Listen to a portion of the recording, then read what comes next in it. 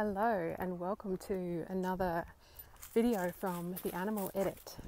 Today's topic is about pests. I think that's a really interesting one because pests are obviously animals, or animal pests are, and as an animal lover, I think it's interesting to explore what that means for us. So, you'll have to forgive me today. I'm walking my dog Sam at the same time as talking to you, so um, it may become a bit unpredictable. this is Sam. Hey, say hi. See, unpredictable. So, before we dive in, just wanted to ask if you're interested in animals, if you love animals and you're interested in hearing about what you can do in life to just change your everyday actions a little bit to help animals or to minimize your everyday impact, um, please subscribe to my channel. Um, it's a brand new channel, but there's going to be a lot more information, a lot more videos coming out. So, I think talking about pests is a really interesting one um, because if you consider yourself an animal lover, I can almost bet that there are still animals that you consider pests. And I'm talking about pests mainly around the home in this video, so things like spiders, cockroaches, mosquitoes, flies, those kinds of things. So, if you love animals but you don't like pests, what do you do about that? And where do you draw the line ethically? And I'm talking about things like pest control about around the house. Personally, I have always found it really hard to kill anything, even if it's a mosquito, a fly, a cockroach, anything. I find it really hard um, unless it's like really annoying me. So if it's a mosquito that is threatening to bite or has bitten me, or um, a fly that just won't leave our food alone, then in those cases, impulse often gets the best of me and I will strike.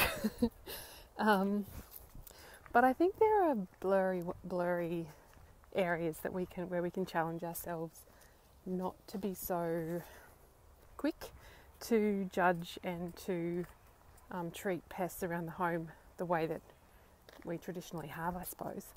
Um, and one of the examples is spiders. And we recently had a pest control company come round and um, actually they were going to do pest control in our house, and instead of that, I asked them just to do termite inspection, just to make sure our house doesn't have termites. And I decided to do my own form of pest control, which I'm still in the process of um, researching.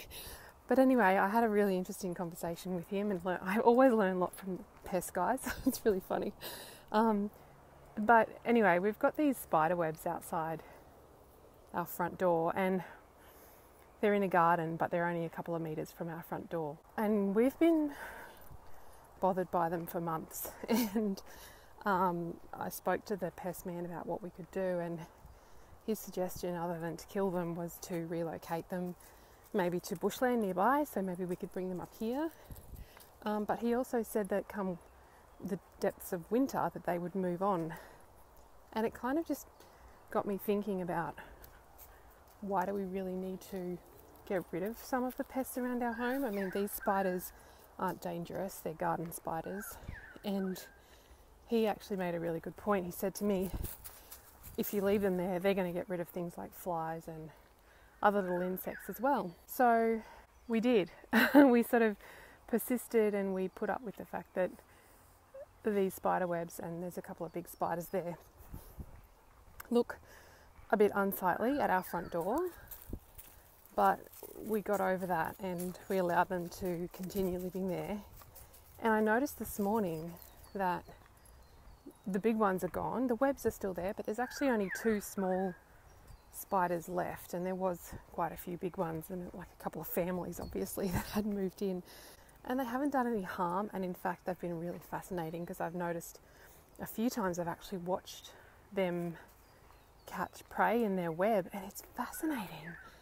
It's so interesting. Um, and I don't want to rattle on any more about this, but I guess it was just a good example, I think, of how we can challenge what we would normally do, how we normally think about certain animals. And that's just one example. I think there's lots and lots of others. But if there's an animal that's annoying you, maybe think about why it's annoying you and really whether it's a threat to your safety uh, and your happiness. And if it's not, and it's more of an annoyance, then can you draw on your level of respect and compassion for animals and allow it to be and maybe just see what you can learn from it? um, there are cases, I guess, where the happiness aspect will be a factor, and I think in this case for us, it was um, encroaching on our happiness a little bit because it was making our front veranda look a bit messy. And but then I actually, because of the way that I started thinking about the spiders, I started to look at them a little bit differently, and I actually ended up seeing them as quite beautiful. So I think if we take the time to challenge our own assumptions and the way that we treat things every day, then we can start to see new perspectives and maybe see a different dimension of beauty in the world that we might not have otherwise seen. So that's all I want to talk about today as an example of pests and how we think about them in our world. I tell you what, my dog's being a bit of a pest at the moment because he knows I'm not paying attention and he's pulling me along, which is really quite annoying. Luckily, he's cute, so I can let him get away with it. Plus, he has loads of personality and he teaches me something every day about living life to the fullest, but that's a whole other topic in itself. Um, so, thank you again for watching. I'd love you to subscribe if this is a topic that's of interest for you and you love animals as well. And um, let me know what you'd like to hear about, and I will be making lots more videos soon. Thank you so much. Bye.